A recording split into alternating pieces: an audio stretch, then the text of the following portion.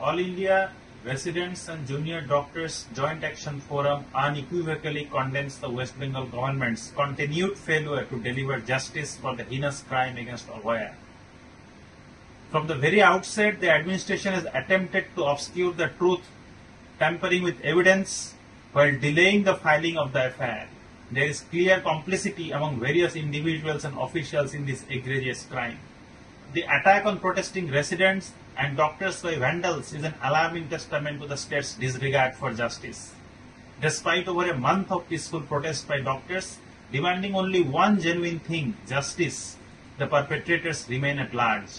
The Chief Minister's apparent disinterest in addressing the issue directly, coupled with misleading claims about the strike's impact on patients, has only compounded the crisis.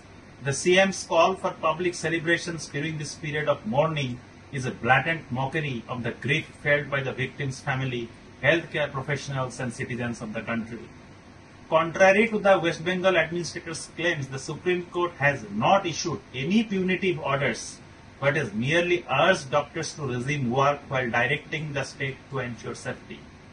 The administration's failure to improve security for healthcare professionals, even after a month, speaks volumes about its autocratic approach and its attempt to instill fear rather than address the core issue at hand, that is justice.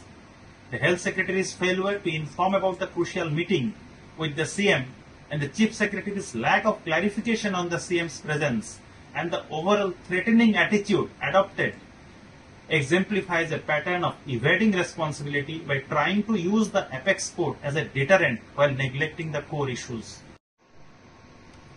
All India Joint Action Forum stands resolutely with the protesting doctors and residents.